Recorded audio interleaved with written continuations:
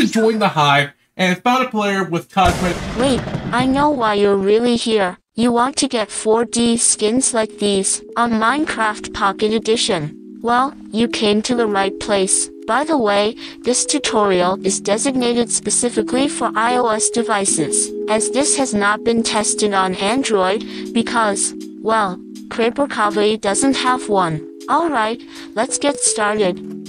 Before doing anything else, you would need to have a skin pack that you would want to import. There are multiple out there for you to use. In my example here, I used a skin pack from this amazing individual right here. I'll link this in the description. Make sure, when you go in the description of that video, you open the link for iOS, not for PC or APK. Alright, once you have the pack downloaded, the first thing you need to do is to go into your Files app. That's the app with the folder icon if you don't know. You would then need to find the tab titled, on my iPhone, or on my iPad, or something of the sort, and open it. Next, you would need to locate the Minecraft folder and open that, followed by the internal folder, and then premium underscore cache, and lastly, skin underscore packs. Once in the skin packs folder, select the circle with the three dots inside it. This would give you a list of options to choose from,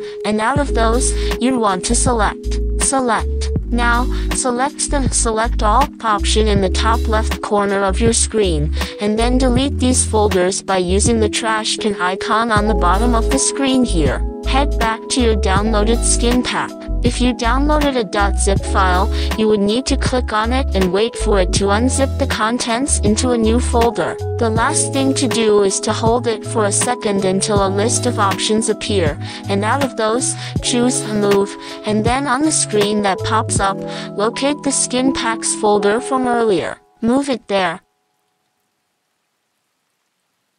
That's all. Now you can open up Minecraft and check out your skins. If you followed this tutorial correctly, you should see the new skins with the 4D cosmetics and all. If you were to go on Hive, for example, you should see your skin, and so should everyone else. If either of these things aren't true, then it's either the skin pack or the server itself. If it's just the skin pack, then you just need to find another one. If it's the server, well, you wouldn't be able to use that skin pack on the server.